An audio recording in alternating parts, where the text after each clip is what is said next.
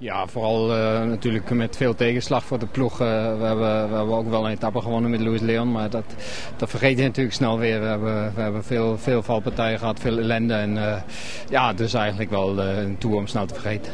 Als, als team sowieso en voor jou als, als persoonlijk? Ja, ook voor mij persoonlijk. Ik was zeker niet tevreden met hoe ik heb gereden. En ik, ik ben natuurlijk vooral van grote waarde om voor een kopman te rijden. En omdat Robert daar doorheen zakte door zijn valpartij, ja, was het natuurlijk ook niet mijn taak eigenlijk een beetje over. En dat was wel jammer, maar het is gewoon zo. We gaan het volgend jaar weer tegenaan.